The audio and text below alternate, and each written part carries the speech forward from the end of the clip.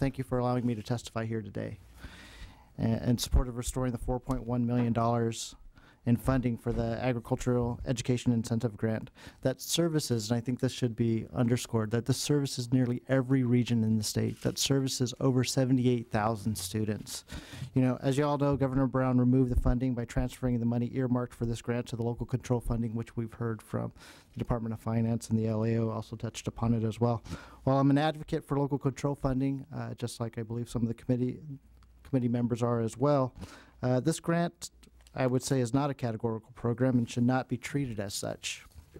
You know, there's several factors that distinguish the Ag Incentive Grant as a, such as, you know, it's got a community board, right? And that's comprised of member, business leaders, that's comprised of teachers, that's comprised of instructors. If you look at other categorical programs, they do not have that right? Secondly, uh, the program raises a lot of money on its own. As we know, the $4.1 million is not enough to sustain these programs, so they go out of their way to actually raise the additional funds to keep this program uh, running. The LAO touched upon earlier about the performance and aptitude. That's another part of this. Remember, this is an ag incentive grant.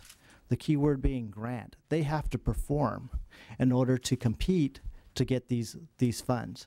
These are all things that make this very distinguishable and that make it different than than any other categorical. Members, as you listen to testimony today by myself, the students and advocates, keep in mind that this is uh, that this grant is not only the state's investment in tomorrow's leaders, but also an ag industry uh, that's number one not only in California, but I would say even across the country. It's no mistake that California leads in agriculture. Uh, California is only one in five regions in the world with the ideal climate to grow the food that feeds America. You know, uh, make no mistake, just because we have the ideal climate doesn't make us leaders. We wouldn't be number one if it wasn't for the hardworking families, students, dedicated farmers, and ranchers who do whatever they can to keep this industry growing. They do it through throughout droughts, such as we have this year, uh, through floods, whether it's an El Nino year, and often at their own expense. And they do it with pride in keeping California the nation's top producer and employer.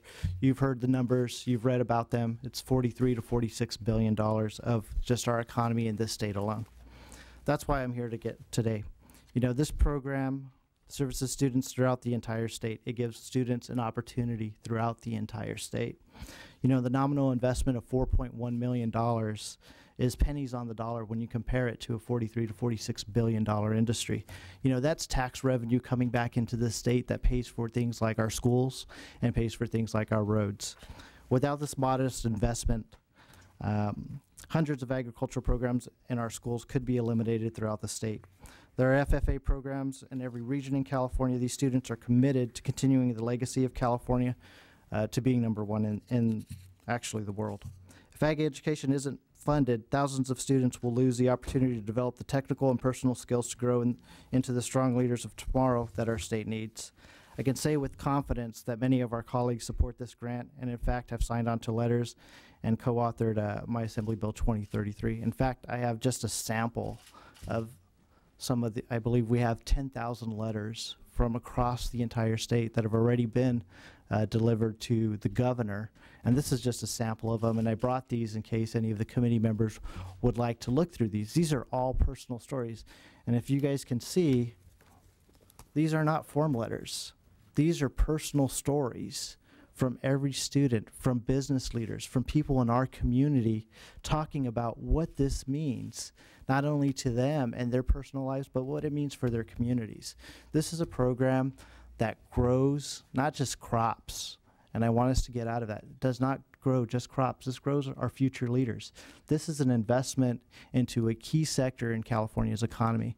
And with that, I'd like to I like to bring up some of the students so you can hear personally from them as well, if uh, the chair will allow. But you know, just personally, I visited a lot of these uh, these schools and these programs, and I can tell you, um, for instance, I talked to a student the other day, and he was from an urban district from uh, Los Angeles, started in a new high school, and said, you know what, I would have never been exposed to this. Um, otherwise, but I love this program. And to be quite honest, he was telling me, he was like, quite honestly, because of the shop classes, because we're able to do things with our hands. Uh, that's the reason why I continue to come to school.